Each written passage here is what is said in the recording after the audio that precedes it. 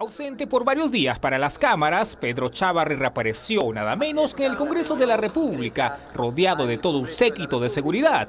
Fue recibido por Daniel Salaverry frente a quien dijo allanarse a todas las investigaciones en el legislativo. Me preocupa y me quita espacio porque ese espacio lo debo dedicar a trabajar por el Ministerio Público y tengo que estar constantemente eh, expresando mi, punto de vista en estas este, antojadizas de denuncias que se están presentando. Además de minimizar las denuncias en su contra, Chávarri justificó haber mentido sobre una reunión con periodistas. Es una mentira donde no escondemos ningún ilícito penal, es una, es una, es una, es una versión que no perjudica a nadie, es una versión únicamente que lo que se quería era, era mantener ajena a la, no solamente a los periodistas, sino también ajenas a la institución. Pese al pedido, incluso el presidente Martín Vizcarra, Chavarri dijo que no renunciará. Si yo tuviera motivo para renunciar, lo haría. Gracias.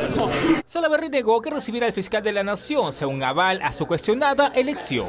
He recibido la visita del presidente del Poder Judicial, del Tribunal Constitucional y ahora del fiscal de la Nación como un acto protocolar. Ya explicó que se allanan las investigaciones y este, esperemos pues todos los peruanos que estos temas puedan aclararse. Sin embargo, la invitación de Salaverry al polémico funcionario no cayó nada bien en diversas bancadas, y es que además de la defensa del fujimorismo a Chavarri, este será investigado en el Congreso, única instancia que podría aprobar su remoción.